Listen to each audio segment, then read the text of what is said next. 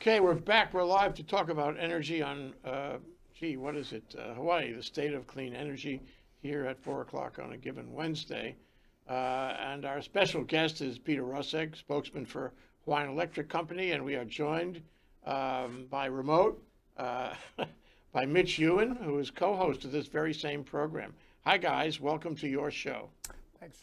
Thanks, Jay. Aloha, Jay. So, Peter, we wanted to talk about how Hawaiian Electric is dealing with the coronavirus, uh, the new world of coronavirus, putting it that way. Sure.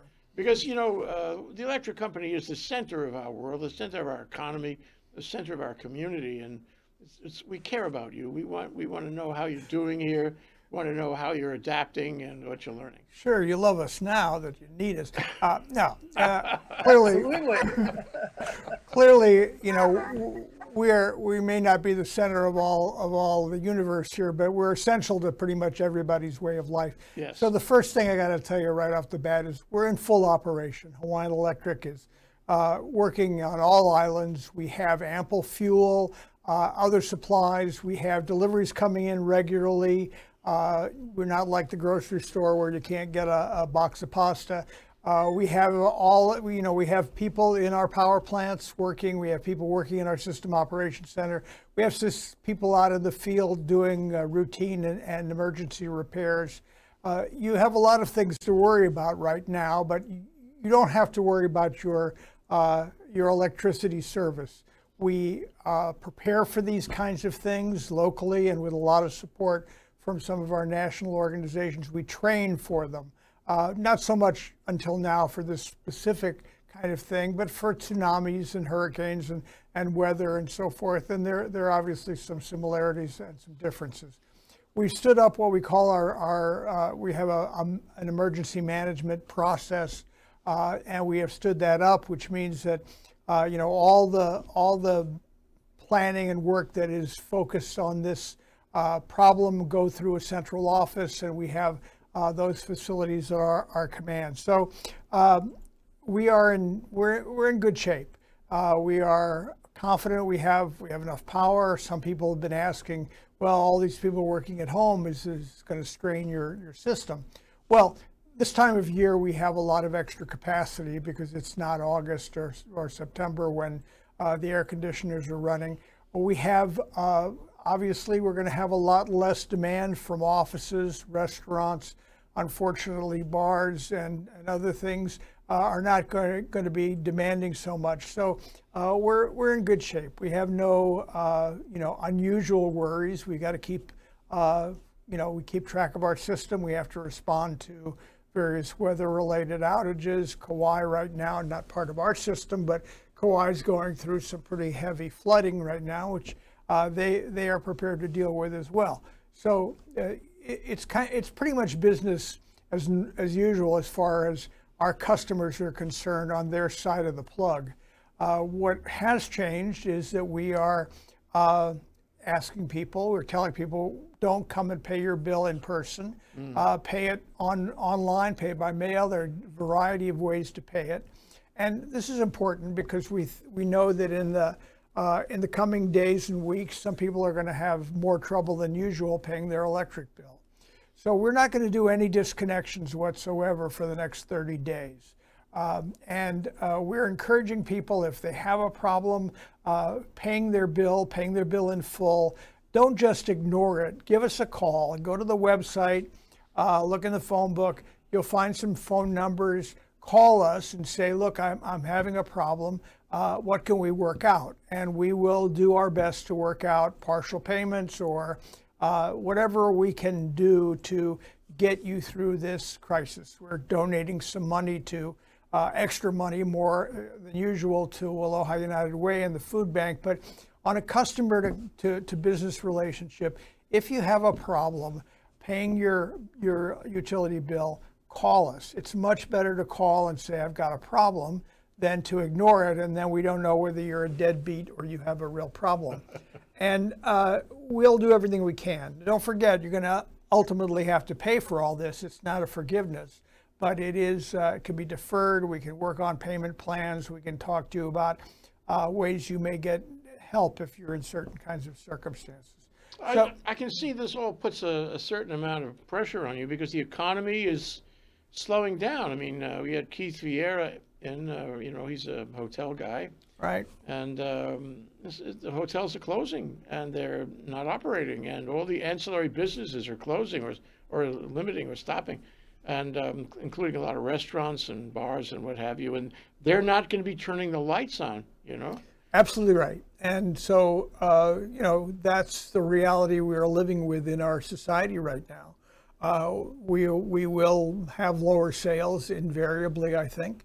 One small bright spot on the horizon, if you've been following oil prices lately, uh, they're down around $20 a, a, a barrel. That's remarkable. And it is remarkable, and who knows how long it'll last once the Russians and the Saudis finally get over the, their tiff. It may change again. But the point is that within the next two or three months, uh, bills should be going down just because we're using less expensive oil to generate the 70 or so percent of the electricity that we still get from oil. And it, the rest increasingly is, is uh, um, renewable energy that's not tied to the price of oil. So that's a small glimmer of hope. But you're you're absolutely right. We are, uh, you know, we're girding for uh, a down downturn in sales, and so we're going to be confronting that reality too. Smaller sales and a lot of people who can't pay their bills. Uh, there could be cash flow situations. I'm not in that. Uh, you know, I'm not privy to all that, but I'm sure we're planning for the eventuality that we might have that. Uh, we have to pay our suppliers to keep the oil Sure, and the other supplies coming. Those are, Uh, yeah, but you know, yeah. they're fixed costs, and uh, but you know, this is not just a local problem; it's a worldwide problem. So uh, we're all we're all kind of in this together in this weird way. Uh, but it's definitely going to be some difficult times ahead for everybody to keep their head above water, and we're going to do all we can uh, to be a solution and not a problem in that. Uh, as I said, you know, we're going to try to help people with bills um, if we can. We're going to we're we're still operating at full strength on things like our customer uh, customer installations departments, contractors. We've communicated with all of them. We're about to communicate with all the solar contractors who we work with uh, throughout the state and actually throughout the country, and tell them we're still processing your applications. We're still uh, moving forward so that if you have a construction project that depends on some electricity uh, infrastructure or approvals or whatever, we don't we don't want to be the we're not going to be the one that's in the way of moving that forward. So the businesses that we can support, uh, we are going to support by uh, working very hard to make all of our our time schedules, and if uh, we can be a little bit lenient on some of their time schedules, we're going to try to do that. So you know we got to look to the businesses like construction that can go forward now. Uh, and make sure that the electric company is not an obstacle to that happening. That they're not waiting for their uh, their their transformer to be put in so they can finish the building, or uh, you know whatever it may be. And for so, for solar contractors, we're not going to be holding up things. We're going to try our best to be uh, right on time in terms of getting their approvals back to them, so they can go ahead and send their workers out, pay their workers uh, collect their, their money. So in the areas that we can have an influence, we can't help the restaurant that has to close. We can't help the hotel where, the, where visitors don't come. But there are businesses that depend on us very directly, and we're going to do all we can to make sure that they are able to do their business successfully. Yeah, it's a test of corporate character right now. I think we're in test of character in general for all of us. I think we're all going to be tested in the coming weeks and months. But uh, and here again, you know, we've talked before about a new CEO. Not that the old CEO wouldn't have been just as good, but Scott Seu is uh, very much involved in the community, and he's very, very aware of of our impact. He's been out in the community a lot on resilience projects, and uh, he's been, you know, since he's been appointed and. Uh, he's been out meeting people, out talking to people in the company, and and um, he has the advantage of knowing our company very, very well. Uh, and the people in the company know him very, very well. And he, he's known as a serious, conscientious person uh, who is, is uh, you know, going to put the community and the, the company, uh, put those interests together in the same, in the same pot. He went to Kamehameha schools, uh, big family here, uh, very much the local boy. Alan Oshima also. I don't want to take anything away from Alan, who who has done great and would be great today. But Scott, I think it, we all agree, is particularly uh, in tune with, with a lot of these things. He's just a conscientious, thoughtful guy, uh, and he's going to make sure we come through this uh, in a way that, that reflects well on our company and that, you know, we'll all be proud of at the end. We did everything we could. So that's good. Let me make a couple of other points, if you will. Sure. Um, for customers right now, if you're not online and uh, paying online, uh, this is a good time to go to hawaiianelectric.com, follow the instructions. You can get your bills online. You can communicate online. That way you don't have to, uh, you know, you certainly don't have to come into the, our payment centers. Um, you can use that if you are uh, if you haven't downloaded our app, which I'm always promoting Hawaiian Electric. You can go to the Google Store or the Apple Store, get the Hawaiian Electric app for free. You can follow outages. You can be you can report outages. You can find out where that's where we tend to put most of the kind of short-term announcements about things that are going on. I think all of us are going to come out of this experience as you were saying, you know, a lot more people will be staying home after this. I think a lot of us are going to be much more uh, conscientious, aware of what we can do online, that we don't have to uh, be outside, be to be in groups of people, be in offices that are small and where we have a chance of infecting others or being infected. So this is a great opportunity uh, for customers to do that. You can pay your bills online. You can get a lot of information online. You can also follow outages, report outages through these various uh, online devices. And we would be thrilled. I mean, it frankly saves us money, which we could pass Sure. back to people. It, it, it purports, it goes further to efficiency. And, Absolutely. and uh, I think it also uh, brings the electric company and the community together. This is a time when we have to work together, and at the end of the day, we'll probably understand each other a little better.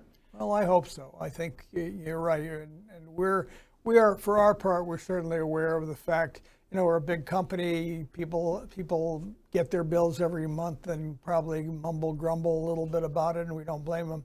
But we we are all in this together, and and this is a company. Uh, you know, I've been there for 20 years now, but the company's been there for 128 years now, and it's You don't look that old at all. oh well, you know, it's because of It's good no. living, good living. What is it? Anyway, it's I can't touch my face, so I can't tell you exactly. Please don't why. touch your face, no. Anyway, uh, this is a company that is is literally, you know, all about Hawaii. It's been it's uh, locally owned and operated. It's all the managers. Everybody lives here. Um, this is the most local company I've I've ever worked for. Uh, local in the best sense, both in the kind of way people interact with each other and in the sense of our responsibility for this society. As we said before, I mean, except for a couple of people who are sleeping under bridges, everybody depends on the utility for their electric service, for watching this program, for keeping their food cold, uh, heating it up, and all everything that we all know about. And we are very, very con- uh, aware of that and try to be very conscientious about making sure that we, we live up to that responsibility. Uh, it, it, you know, it, it's not just talk, although I'm a talker. Uh, it's not just talk. It weighs on our, uh, our, uh, weighs very heavily on us every day, and and uh, we take it quite seriously. We try to joke about it a little bit so we don't get all It's consistent you know, with everything morbid. I've seen. So uh, Peter Rosegg, a spokesman for Hawaiian Electric, uh, and Mitch Ewan, our co-host here on uh, Hawaii State of Clean Energy. We're going to take a short break. We'll come back in half a minute. And, uh, and Mitch, uh, I'd like you to follow up with uh, whatever comes to mind on, on uh, Peter's discussion. We'll be right back.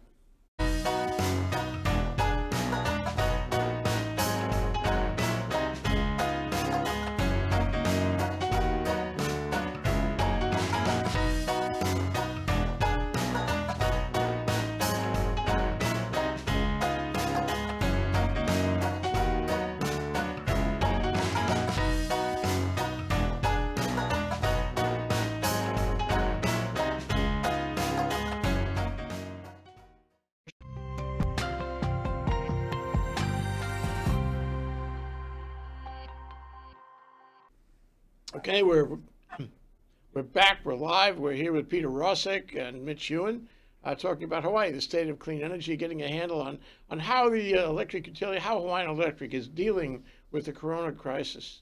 Uh, so, Mitch, you had some thoughts you'd like to ask Peter about?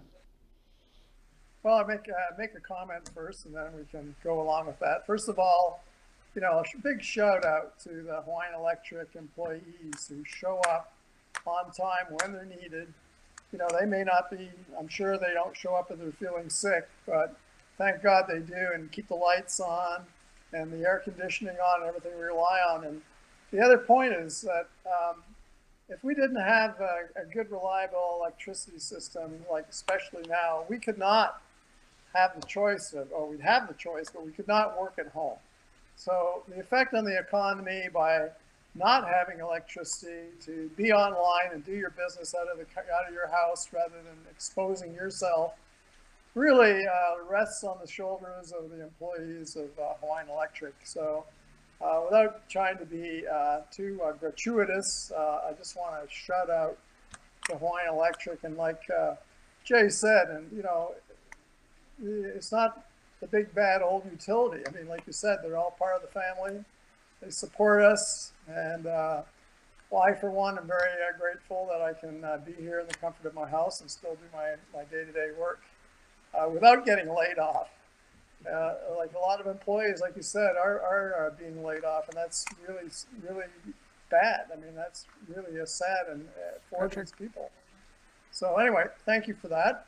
Thank you, Mitch. I appreciate that. And I know if, you know, our 2,000 employees who are all watching at this, no, well, who, if they were watching at this moment, uh, they would they would appreciate it too. I will say we have, I think we uh, estimate seven or 800 of our employees right now are working from home, uh, getting, you know, kind of breaking in the system to allow them to do that. We are a very technological company in that respect, and we've long had the ability, but we've never had this volume of people working from home, teleconferencing. And you know, it, it comes along, if I may say, just at the time when we were kind of finishing this one company um, move. So uh, we were already doing a lot more teleconferencing because departments have people on all three of the major islands and so forth. And now that combined with the with working from home uh, is, uh, I think it's going to change the way we work in the future. But uh, we really encourage other people to, to do that to the extent they can. Yeah, that, your comment about changing how we work, I think, is a huge issue. I mean, people are going to be doing this for quite a long time, probably, and we're going to adjust how we do our work, and I think we'll become much more efficient. So instead of spending, you know, an hour on the road in traffic, we can have more productive time at home.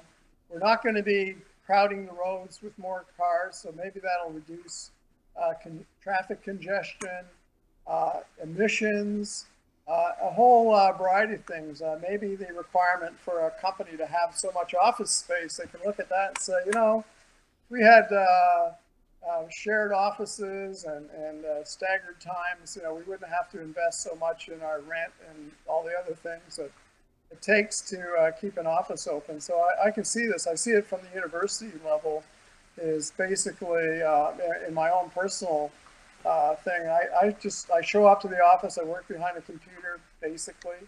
Uh, interaction with people in the hallways is good because some of the best ideas uh, come out of uh, these unplanned meetings in the hallway. So I think you still have to keep that component in. You can't just totally walk away from the office and never show up.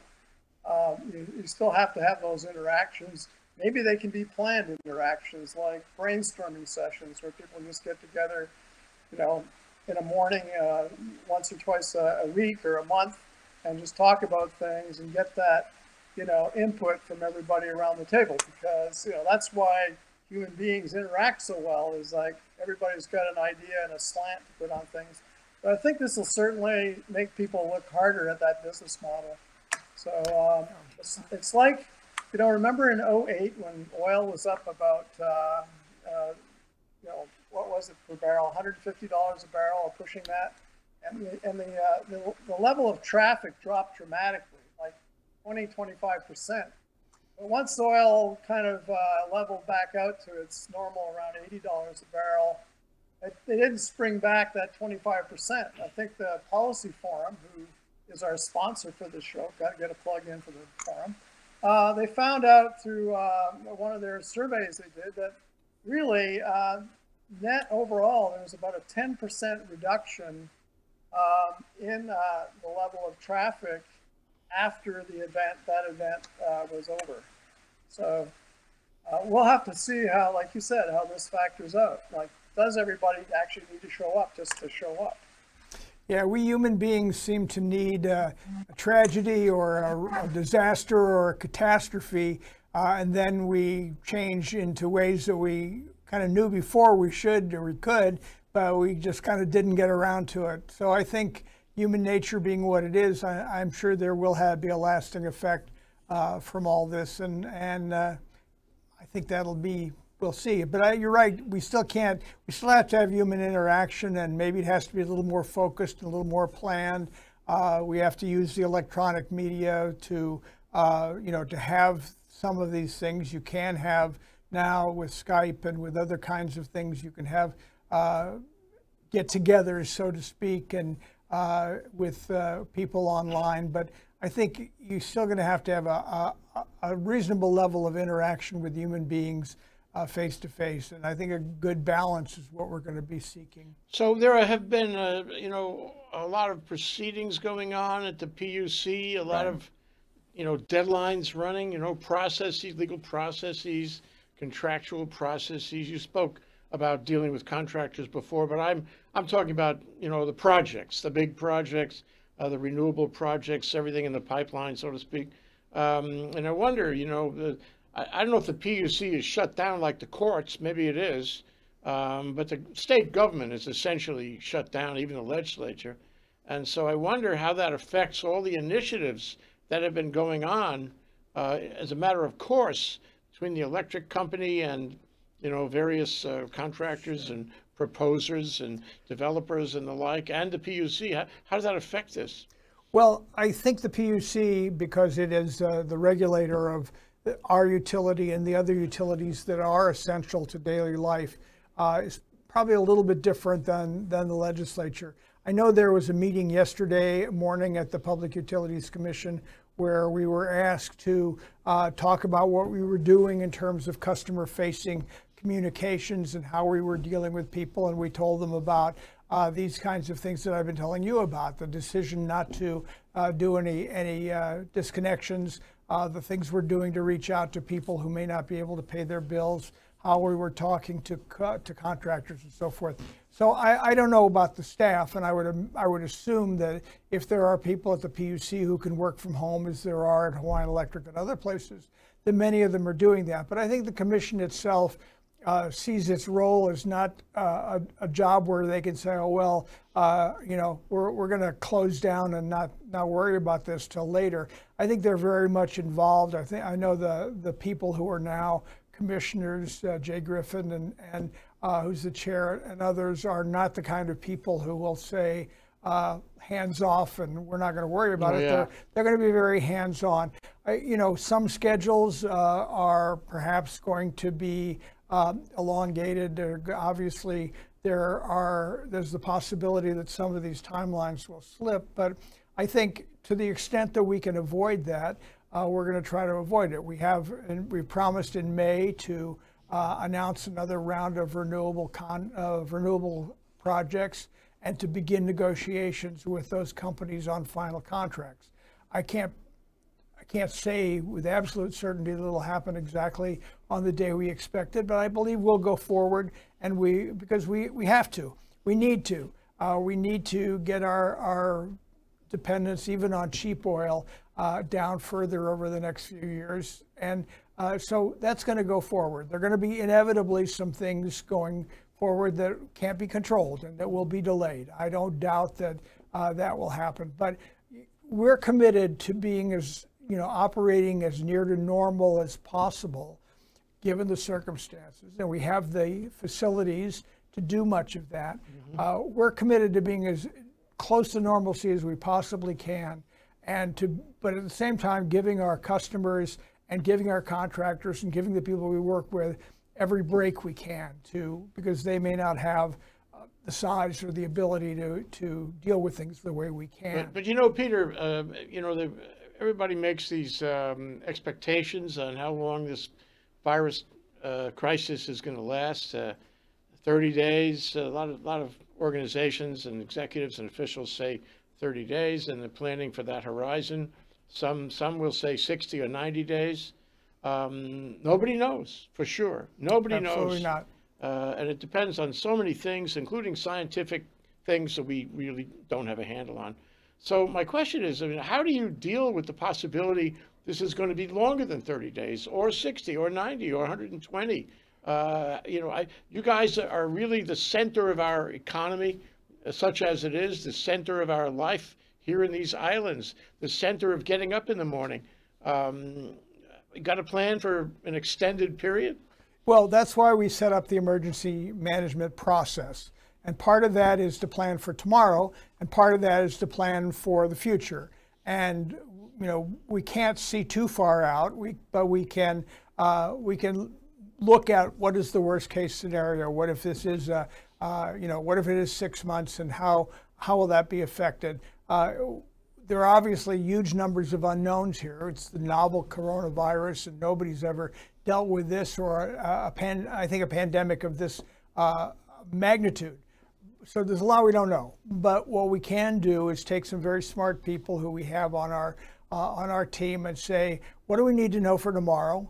on the week to come and the week after that, and we'll plan no disconnections for 30 days. And before that expires, we'll look at it again. Mm-hmm. I mean, that's kind of like all we can do. But we do have people who have trained and who have planned for these kinds of contingencies. And we have also very good resources in terms of knowing what's going on, both local and from our national organizations, people who will be telling us and showing us what other utilities are doing. Uh, so you know, I, I will guarantee you there'll be mistakes. Uh, I guarantee you we will not be on top of everything that's, that happens, but we will. It won't be for lack of trying. It won't be for lack of working at it. Uh, that's why we use the emergency management. We call it an incident management team. Uh, that's why we use this process so we can kind of shed some of the, the, the, the distractions and make sure we know exactly who's responsible for today, tomorrow, and, and, and whatever the future may bring. That's And great, Peter. We'll do our best. We'll It's do our great that you come down and talk to us about it too. We want to follow it. We'll be you. back anytime because I think information is absolutely critical. I agree. So Mitch, uh, you have the uh, enviable task of summarizing and saying goodbye. Can you do that? Okay, well, I'll quickly summarize. It looks like uh, Hawaii Ele- Hawaiian Electric is on top of the situation right now. I think uh, people don't have to stress out about their energy bills. Like Peter said, we're not going to cut your lights off, so don't stress out about that. Uh, the workforce is coming in every day and doing their job. Thank you very much for doing that. You can work from home and maybe be more efficient. And I think that's it. As you said, make my exits short and sweet. So aloha, everyone. We're out That's of here. Mitch Ewan Aloha. Peter Rosegg. Thank, Thank you, you. gentlemen. Thanks very much. Take care. Aloha. Aloha. Wash your hands. Stay safe. Stay well. Stay well.